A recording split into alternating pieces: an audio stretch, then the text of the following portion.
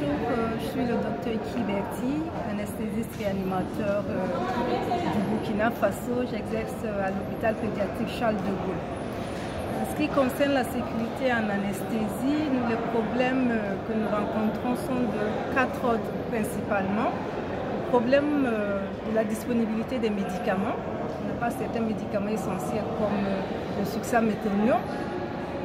Les vasopresseurs, on ne les a pas continuellement et l'autre problème avec les médicaments, c'est qu'on continue à utiliser des médicaments abandonnés ailleurs, comme la locale. On a également un problème d'équipement de nos hôpitaux. Actuellement, dans très peu d'hôpitaux de salles d'opération, les malades sont ventilés et monitorés correctement. Complètement, je dirais. Tous les paramètres vitaux ne sont pas monitorés.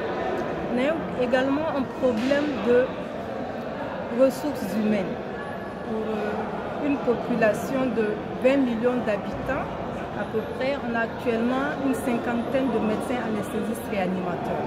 On a certes des infirmiers spécialisés en anesthésie qui offrent des soins en anesthésie, mais tout ce personnel a besoin d'une formation continue qui malheureusement ne se fait pas de manière régulière.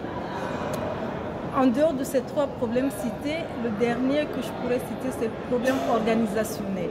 Il nous manque des protocoles, des procédures et des standards élaborés à partir desquels on pourrait donc se baser pour pratiquer une anesthésie sécurisée. Quelles sont les mesures qu'on a déjà entreprises pour euh, essayer de pallier un peu à toutes ces difficultés? La Société nationale d'anesthésie organise depuis quelques années des journées nationales d'anesthésie. Ce sont donc un cadre de formation continue pour le personnel médical et paramédical. cette société a également, grâce à des partenaires, obtenu l'équipement des blocs opératoires en certains outils, notamment les oxymètres de pouls, Lifebox et récemment euh, du matériel pour la gestion des voies aériennes. Également, la société par les enseignants hospitalo-universitaires et non participent donc à la formation de base des infirmiers en anesthésie et depuis quelques années, nous avons la formation de médecins anesthésistes sur place et donc les médecins anesthésistes titulaires actuels participent énormément à cette formation. Le gouvernement nous aide dans toutes ces activités en nous supportant pour l'équipement. On a eu le, concours du gouvernement et il n'y a pas si longtemps que ça, il a commandité la rédaction de normes et standards pour la sécurité dans les blocs opératoires. Donc ce sont des atouts qu'on a euh, de la part des soutiens qu'on a de la part du gouvernement.